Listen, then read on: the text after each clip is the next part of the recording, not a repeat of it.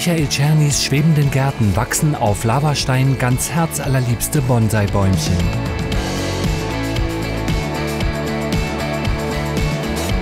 Bei Gechillt gegrillt lässt uns Klaus Winter an seinem Geheimwissen zum Thema Grillrostreinigen teilhaben.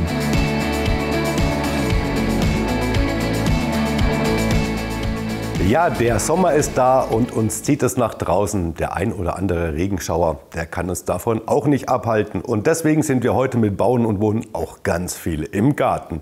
Und damit herzlich willkommen, liebe Zuschauer. Wir starten auch gleich mit einem Bäumchen, das weltweit eine riesen Community hat. Und zwar Bonsai-Bäume.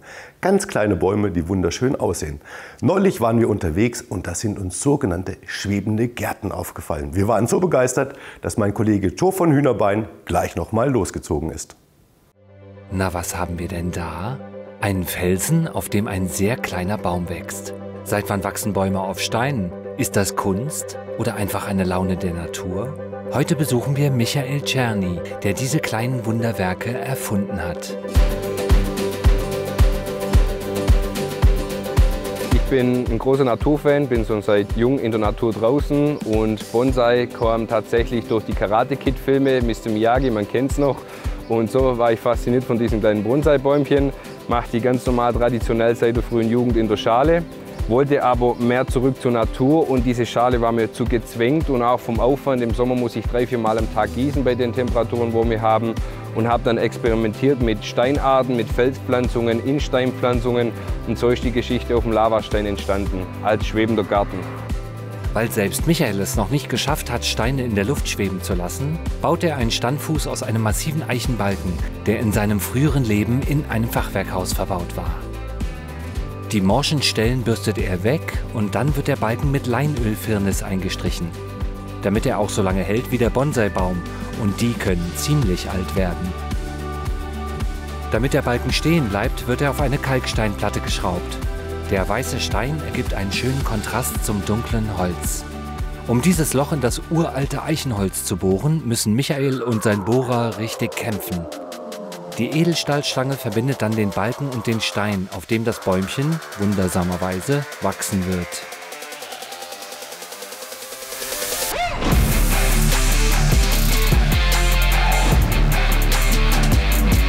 Wie das überhaupt möglich ist, sehen wir jetzt. Und dabei geht es ordentlich zur Sache. In den Lavastein wird eine Vertiefung eingefräst. Das ist eine ganz schöne Drecksarbeit, geht aber recht schnell, weil der Stein porös ist. Lavagestein ist mineralienhaltig und wasserspeichernd, also perfekt geeignet als Zuhause für unseren kleinen Baum. Es ist Lavastein, aber Lava ist nicht gleich Lava. Es gibt Lava aus der Eifel, aus dem Deutschen. Dann gibt es Lava aus Sizilien, Italien, dann gibt es Lava aus Asien. Mit diesen Gesteinsarten habe ich alle experimentiert. Es geht um äh, die Poröse, die, die Schwere von den Steinen und diese ganzen Geschichten. Also die Bäume sind für draußen überwiegend. Ich habe auch welche, wo ich Innenbepflanzung mache. Das sind dann tropische Baumarten. Aber überwiegend 99 Prozent mache ich für außen. Sind tatsächlich Sommer wie Winter draußen. Die bleiben auf dem Stein. Man muss sie nicht abdecken oder schützen. Außer es sind mediterrane Bonsai-Arten wie Olivenbaum oder sowas. Das muss man ins Kalthaus oder ein bisschen in die Garage, wie man es auch aus den Topfpflanzen kennt aber sie bleiben Sommer wie Winter draußen. Sie brauchen ihre Jahreszeiten. Es sind keine Zimmerbonsais oder Tropenbäume. Zum Teil sind es Bonsai-Bäume aus einheimischen Bäumen, Lärchen, Kastanie, Ahorner, Sommer wie Winter voll draußen. Hier haben wir einen wunderhübschen 13 Jahre alten Zierapfel-Bonsai. Jeder schwebende Garten ist ein Unikat. Lavastein und Bewuchs werden individuell für jedes Bäumchen ausgesucht. Das Moos dient zusätzlich als Wasserspeicher.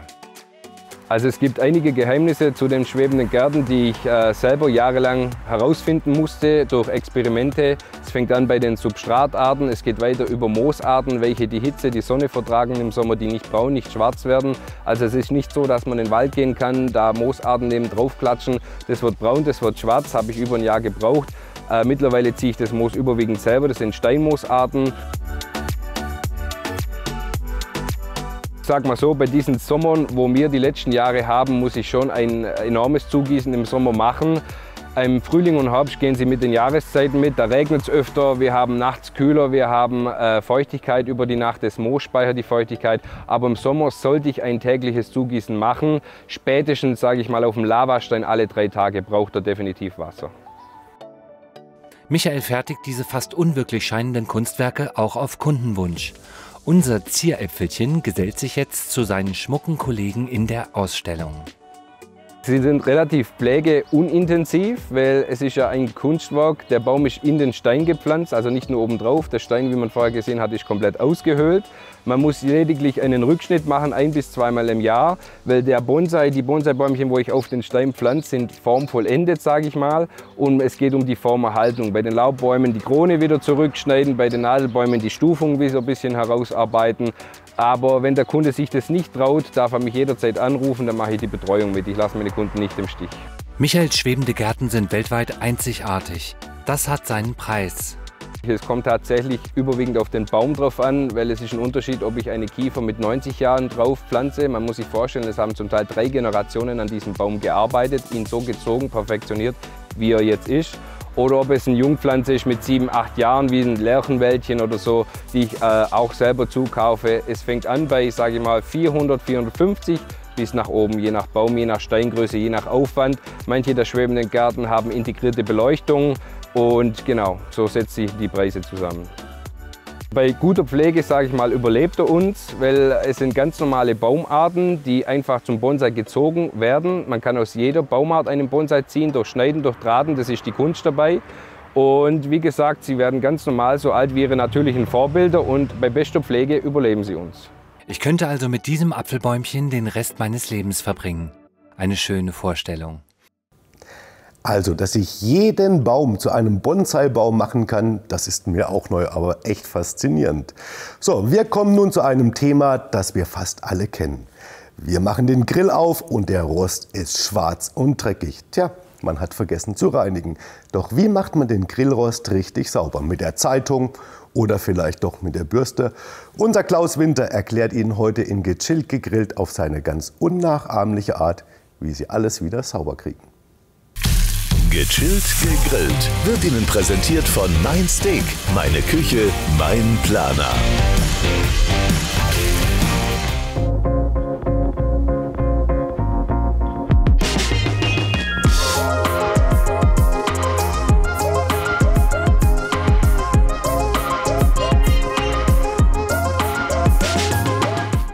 Heute geht es um das leidige Thema, wie reinige ich meinen Grillrost. Und dazu müssen wir natürlich erstmal schauen, was gibt es überhaupt für Grillroste. Es gibt Stahlroste, die würde ich Ihnen nicht empfehlen, weil die tun genau das, wie sie heißen, die rosten. Und ähm, die nächstbessere Qualität sind dann Edelstahlroste, wie beispielsweise hier in diesem Fall oder in diesem Fall äh, der ist etwas dicker. Edelstahlroste sollte man unbedingt darauf achten, dass die nur auch mit Edelstahlbürsten gereinigt werden oder mit Messingbürsten, komme ich aber gleich dazu. Hier haben wir jetzt zum Beispiel einen gusseisernen Grillrost, wobei es ist kein Grillrost, sondern eine Platte, wird aber genau gleich gereinigt.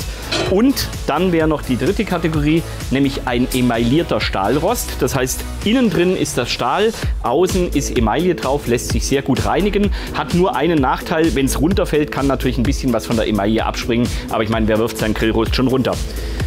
So, und dann habt ihr wahrscheinlich alle schon davon gelesen oder gehört, man kann den Grill ausbrennen. Und das macht ihr nicht. Denn dann brennt ihr den Dreck erst richtig drauf.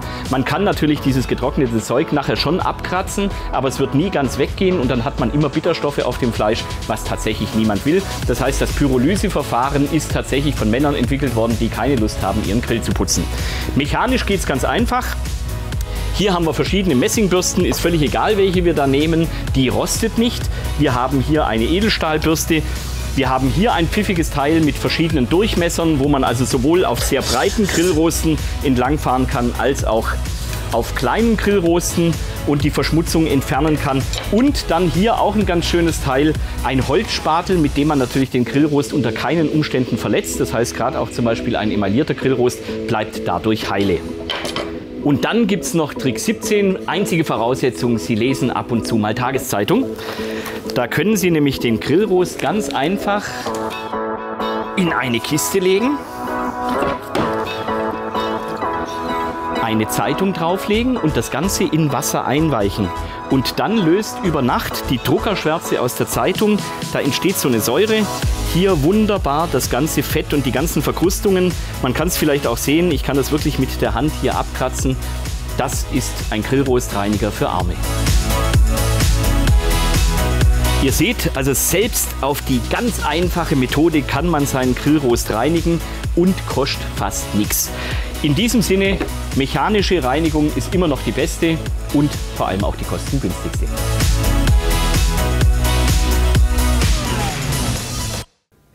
Klaus, wie er leibt und lebt. Also das Pyrolyseverfahren wurde von uns Männern entwickelt, die keinen Bock haben, den Grill zu putzen. Vielen herzlichen Dank für diese Erkenntnis. Wir machen nun eine ganz kurze Pause. Danach geht es bei uns weiter mit blühenden Gärten im Spätsommer und Herbst und großen Bäumen. Bis gleich.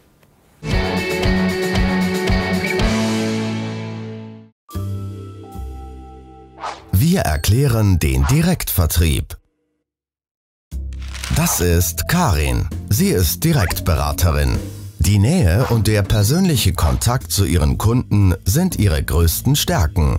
Aber was macht Karin genau? Als selbstständige Unternehmerin bringt sie Produkte eines Direktvertriebsunternehmens an den Mann oder an die Frau. Das heißt, diese Produkte sind nicht im stationären Handel erhältlich, sondern Karin vermittelt diese für das Direktvertriebsunternehmen exklusiv an ihre Kunden. Sie informiert und berät auf unterschiedlichen Wegen. Telefonisch, online oder direkt vor Ort bei den Kunden. Die finden das super. Sie können alles ausprobieren, werden persönlich betreut und alle Fragen beantwortet Karin direkt. Wird ein Produkt gekauft, erhält sie dafür eine Provision. Anton wurde auf einer Produktpräsentation auf Karins Tätigkeit aufmerksam. Da er es schon immer spannend fand, mit hochwertigen Produkten zu arbeiten, ist er Karins Beraternetzwerk beigetreten. Anton profitiert von Karins Unterstützung und Karin erhält zusätzlich einen Bonus vom Direktvertriebsunternehmen. Wenn Karin und Anton ihren Umsatz steigern, wächst auch ihr Bonus. Als selbstständige Direktberater sind beide ihr eigener Chef und haben starken Rückhalt durch die Wirtschaftskammer. Sie haben noch Fragen zum Direktvertrieb? Mehr Informationen finden Sie unter www.derdirektvertrieb.at.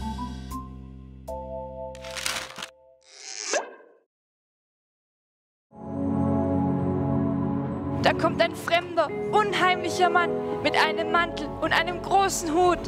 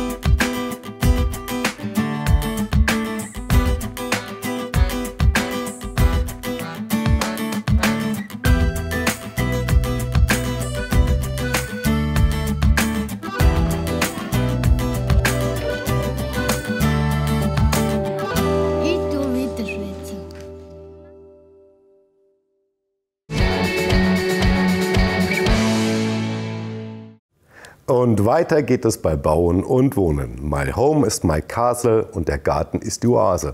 Umso mehr, wenn es dort das ganze Jahr über blüht. Das Thema ist, die meisten Pflanzen haben keine Blüten mehr ab Sommer. Es gibt aber auch Pflanzen, die im Herbst auch noch den Garten richtig verschönern.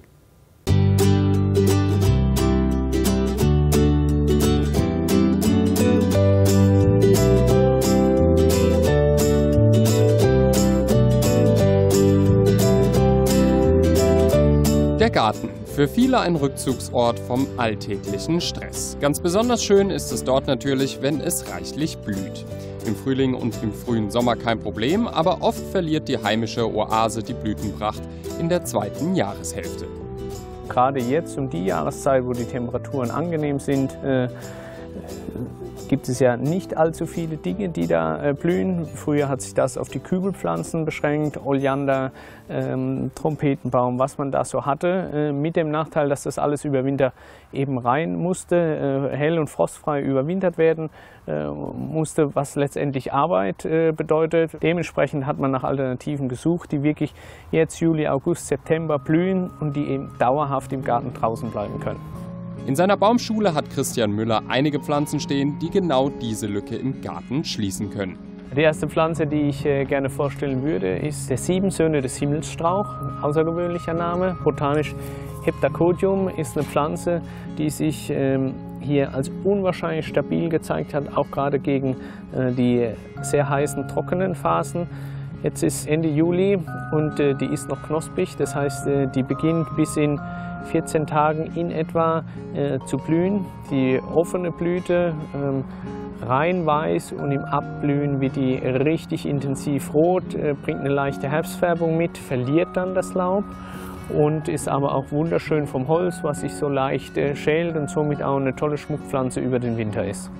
In der Tat ist es so, dass uns äh, die klimatischen Verhältnisse deutlich mehr Möglichkeiten äh, bieten, gerade weil auch die letzten Winter nicht so äh, beißend kalt waren. Darüber hinaus haben wir die Rispenhortensien. Es ist natürlich auch was, was jetzt äh, wahres Blütenfeuerwerk ist. Wenn man die Möglichkeit hat, nimmt man da die Sorten, die eben nicht steril sind, das heißt, äh, die entsprechende äh, Pollenansätze auch haben. Da tut man den Bienen und den Insekten einen Gefallen. Wir empfehlen immer bei den Rispenhortensien äh, die trockenen Blüten auch über den Winter stehen zu lassen. Und da gibt es tolle Sorten wie Diamond Rouge oder Wims Red, die rein weiß in voller Blüte sind und dann im Abblühen richtig rosa bzw. pink werden und da nochmal eine ganz andere Farbe in den Garten bringen. Das ist die erwähnte Albizie, auch Seiden- oder Schlafbaum genannt.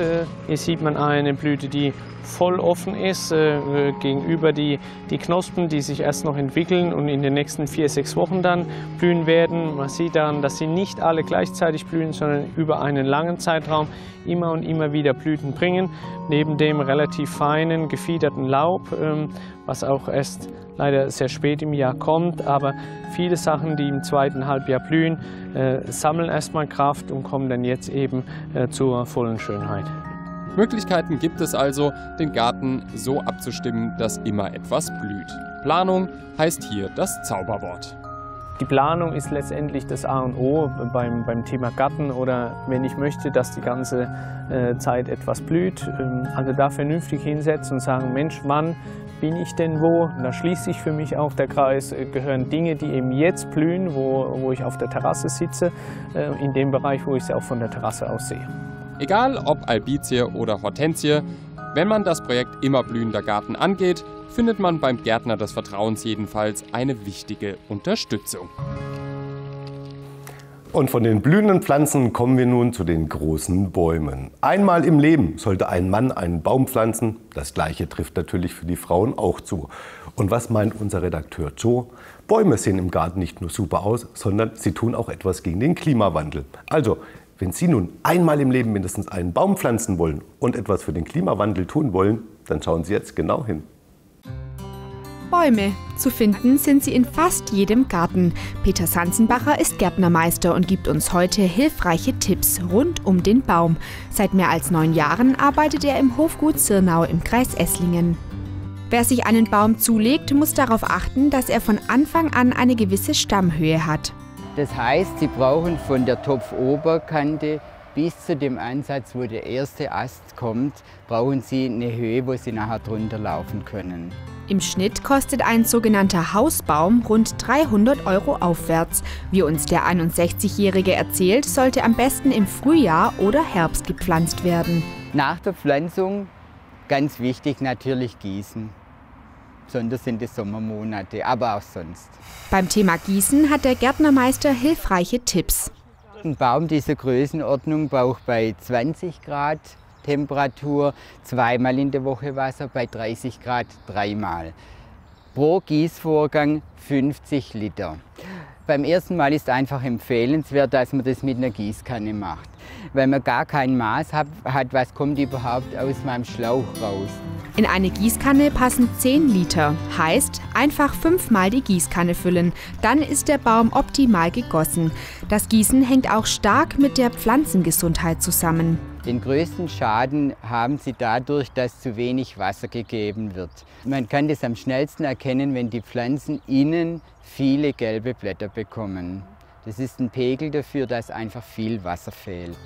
Damit der Baum wortwörtlich in Form bleibt, muss unbedingt ein Rückschnitt gemacht werden. Auch hier gibt es eine Faustregel. Alle Bäume, wo im ersten halben Jahr blühen, schneidet man direkt nach der Blüte. Alle, wo später blühen, im Frühjahr oder im Herbst. Sie sehen hier den ganzen Trieb, der jetzt dieses Jahr gewachsen ist. In der Regel lässt man von dem neuen Trieb einen kleinen Teil davon dran. Das ist nicht genau festgelegt, wie viel das ist, sodass einfach ein Rest von dem bleibt. Und auch im Inneren der Baumkrone sollten kleine Äste entfernt werden. Dass einfach die Pflanze mehr Licht innen drin hat. Wer also ein paar Handgriffe rund um den Baum beachtet, der hat auch lange etwas davon. Und nicht nur Sie als Gärtner, denn je nach Art können Bäume mehrere hundert Jahre alt werden. Im Garten sorgen die Pflanzen und die Bäume für die richtige Stimmung, abends zu Hause das Licht. Wir sprechen gleich mit einem Experten darüber, wie Licht unser Wohlbefinden und unsere Stimmung verändern. Bis gleich.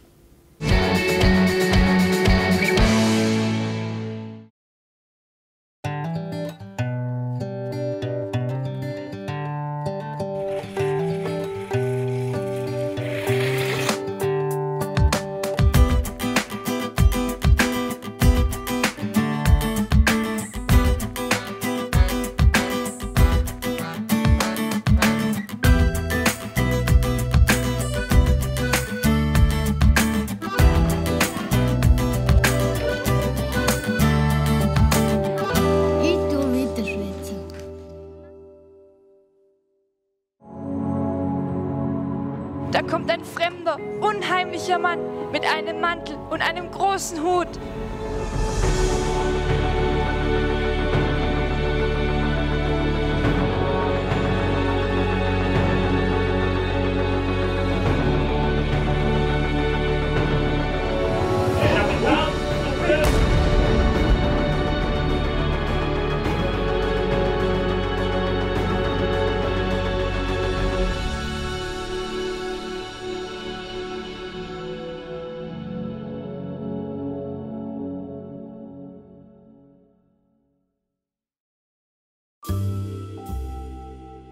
Wir erklären den Direktvertrieb.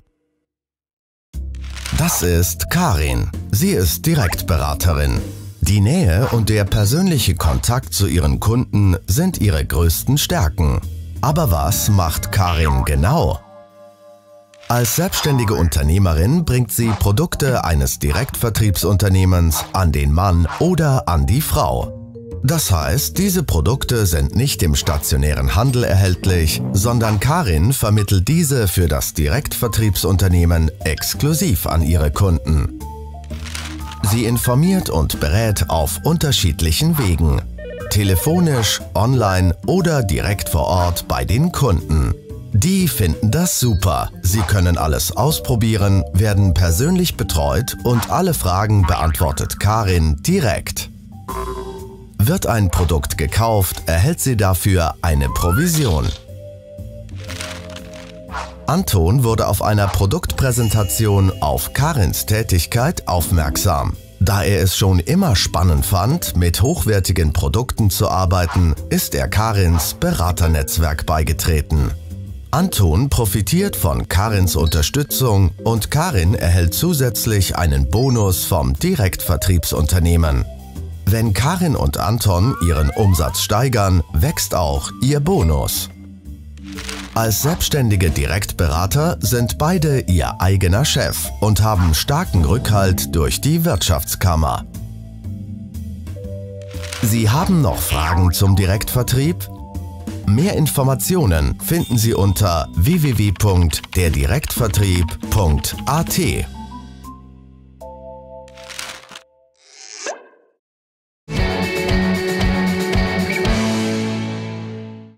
Ja, liebe Zuschauer, bei uns geht es jetzt weiter mit dem Thema Licht. Und zwar, wie uns Licht positiv wie auch negativ programmieren kann. Außerdem haben wir eine Neuheit im Studio. Eine Lampe aus dem 3D-Drucker aus nachhaltigen, natürlichen Materialien. Und im Studio begrüße ich ganz herzlich Marcel Ziller. Hallo, grüß Gott. Herr Ziller, was macht eigentlich jetzt gutes Licht aus? meine, man spricht immer so einfach, achte auf das Licht. Also gutes Licht liegt überwiegend im Farbspektrum. Wir reden von gutem Licht, wenn das Licht ein gutes Farbspektrum hat. Und da unterscheidet sich einfach äh, der Spreu vom Weizen. Und wie schaffe ich es mit Licht, mich positiv zu programmieren?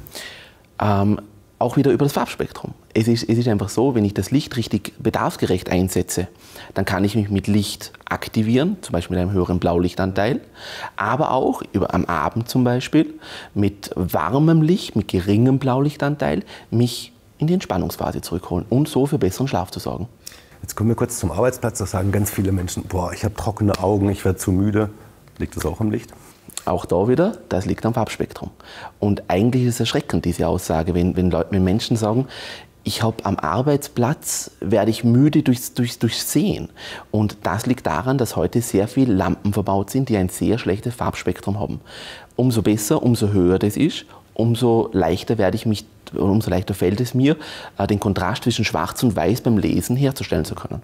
Ich dachte immer, die neuen LEDs sind so gut. War die Glühbirne vielleicht doch besser teilweise? Jein. Die, die Glühbirne war das Nonplusultra. Da müssen wir gar nicht drüber diskutieren, das ist so.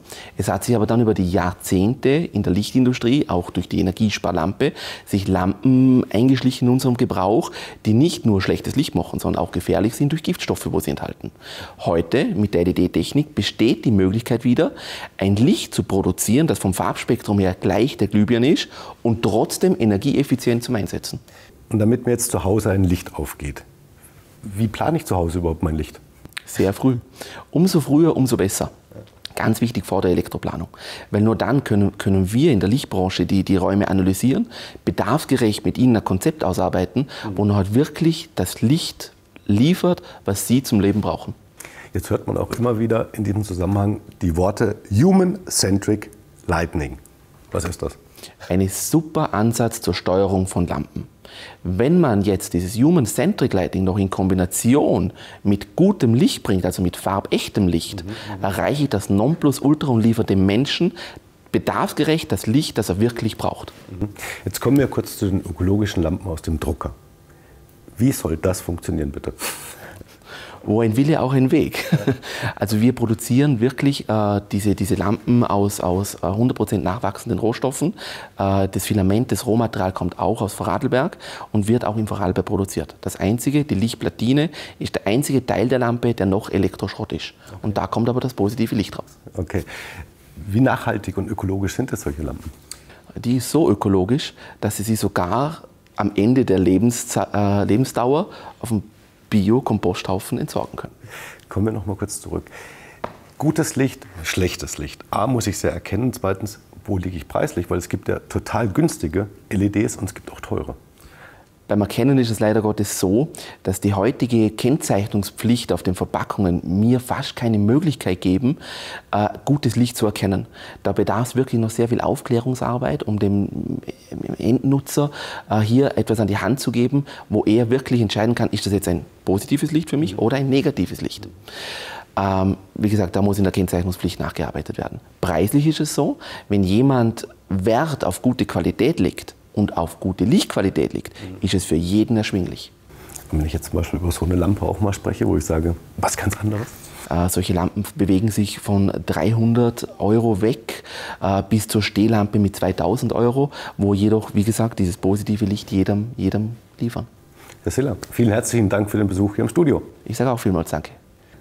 Liebe Zuschauer, das war's für diese Woche wieder mit Bauen und Wohnen. Also, wenn es um das Thema Licht geht, sparen Sie bitte nicht am Geld und achten Sie auf die gute Qualität. Ich würde mich freuen, wenn Sie kommende Woche wieder einschalten. Dann haben wir diese Themen für Sie. Tschüss! Mit Stecklingen kann man ganz einfach seine Lieblingspflanzen vermehren. Gärtnermeister Reich zeigt uns, wie es geht. Immer öfter wird Wandfarbe mit Silikatanteilen anstatt der üblichen Dispersionsfarbe verwendet. Wir erklären, warum das so ist.